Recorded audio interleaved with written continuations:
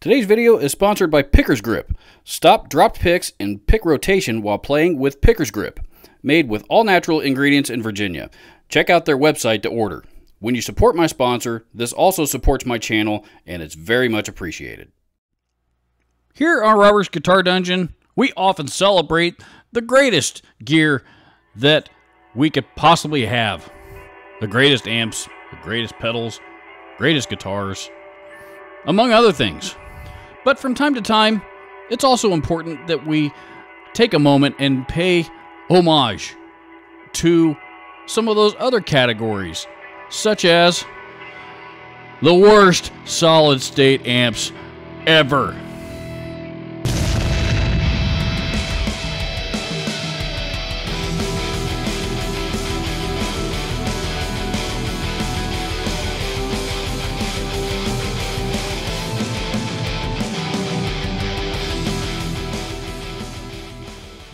Now, I have taken the time to do extensive research on this topic prior to shooting this video, so I am absolutely confident that all of the information in here is 100% accurate. This is one man's opinion, but it's an accurate opinion. So, before we get started, here are the ground rules. Criteria for this list, it's got to be solid state, and it sucks. Also, if you saw the title of this video and you clicked on it expecting to see a bunch of crate solid state amplifiers on here, you are going to be very, very disappointed. The reason why is because I grew up with those amplifiers. I have a very soft spot for them in my heart. And no, there's no crate solid state amplifiers on this list. Deal with it. Next, some of you may see your favorite beloved amplifier on this list, in which case you might get upset about it. If you do, I don't really care. but I forgive you. Last but not least, there's most certainly going to be at least a small percentage of you that are going that are liable to comment down in the comments section. Well, if you're going to trash these amps, you should at least play them so we can hear why you suck. Well, here's the thing. As soon as you are willing to go spend your own money on a pile of amplifiers that you hate, then maybe I'll listen to that crap. In the meantime, don't expect me to. So, now that we've got the mood set right, without further ado, let's get into it. So here we are in no particular order. The top 10 worst solid state amplifiers ever. Number 1, Marshall MG series. I had a real hard time putting these on this list, and the reason why is because I'm a Marshall guy. You know, when I shoot my videos back in my uh, guitar dungeon room, you know, the room with all the guitars and stuff hanging up behind me, there is a brand, there is a shiny Marshall JCM 900, uh, one of my all-time favorite amplifiers, actually, that's that's always sits in the background right behind me. I love that amp. I love Marshall amplifiers. The MG series are not one of their better efforts. I get why they did it. They needed something affordable in the solid in the in the solid state arena, you know. But you know, and it made I suppose it made sense ten or fifteen years ago. But now that they're competing with, you know, the Line Sixes and the you know the the, the Spiders and the Vypyrs and you know all those all these other model all these other amps that are modeling amps that sound better nowadays. The technology is advanced and really about the same price. There's just nothing, you know. They're just you know the the series as a whole has just fallen behind the times. And let's face it they never sounded that good to begin with anyway. Number two line 6 Spider series specifically the series 2 and series 3 these are some of the earlier modeling combos you know, right around the time when modeling amps were really starting to get popular, but, you know, let's face it, the technology hadn't advanced to where it is now, and they still sucked. Spider 2s and Spider 3s. I you know the Spider 2 especially. I know Glenn Fricker seems to like them and has gotten some really really good recordings out of his, but these things suck. They sound horrible. They're a pain in the ass to program. You know, you can never get your stupid settings back to where you wanted them, back to where you had them before. You know, and they all, you know, and, and I and I love the way that they advertise. Oh, Celestion speaker. You look in the inside of it, it's a Rocket 50, which cost about 25 bucks. Get out of here. Number three, the Kustom tuck and roll. This amp's made an appearance on one of these lists before. You know, and I know what everybody's gonna say. Oh, John Fogerty and CCR. John Fogerty played in CCR. John Fogerty. Look, I love John Fogerty and I love CCR as much as the next guy. But you know, he number one, he played the Kustoms live, and and you know, in the studio he used Fender tube amps.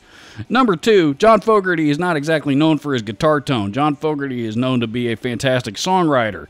That was CCR strength. Number three, you know why they used Kustom tuck and rolls while they were out on tour?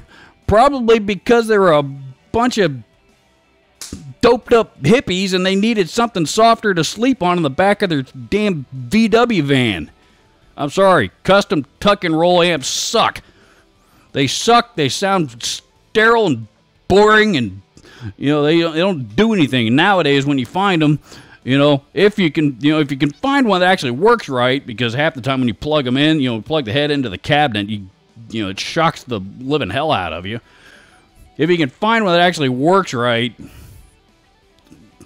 I don't know why you would, but you know, and I know there's a bunch of diehard. Well, you you gotta love those amps there from you know, that were you know all came from Chanute. What was it? Where were they come from? Chanute, you know, Canuter, you know, you know, Canuter Valve, Kansas.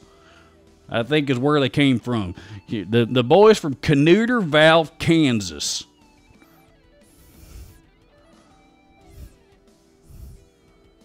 wherever the hell that is. Number four, the Behringer V amp. Or the, the V amp or the Vamp. I'm not real sure how this thing is pronounced, but you want to know what's worse than a, than a Line 6 Spider 2 or a Spider 3?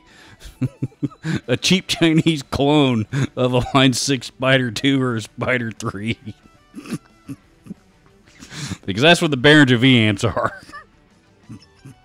Number five, Ibanez Tone Blaster.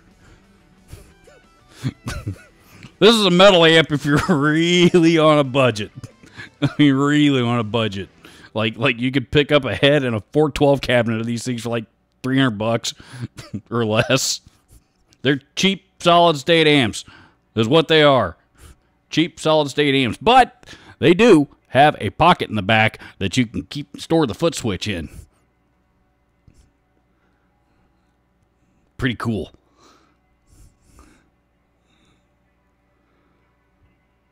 Seriously, these amps sound terrible.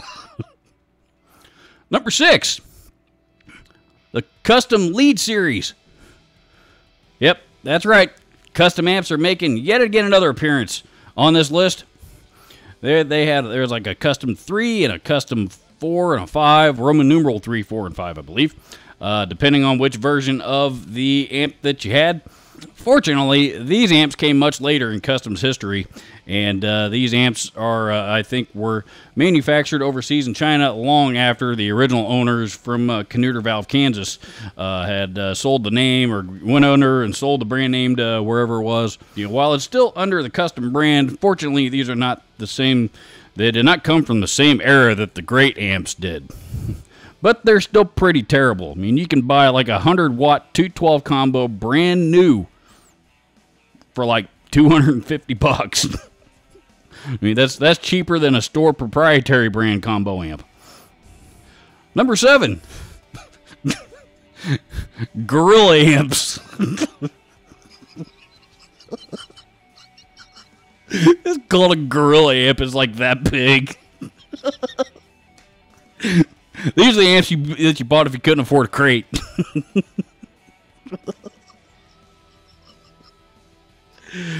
oh man. But you can still find them all over the place on the used market today. Prices range anywhere from about 20 bucks all the way up to about you can find a 100 watt combo or something for about 50 bucks if you catch it on the right day.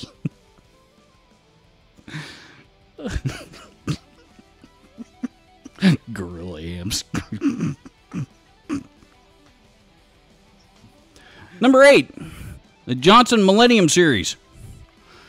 This is another attempt at somebody else trying to jump on the Line 6 modeling combo bandwagon thing. You know, and, and the truth is, these amps really didn't sound all that bad for being a solid state modeling amp. The problem is they were made really, really inexpensively, and these amps were notorious for blowing up and breaking down and just all of a sudden not working out of nowhere for seemingly no reason whatsoever. And as a result, the value on these things on the used market reflects it. You can pick these up way cheap.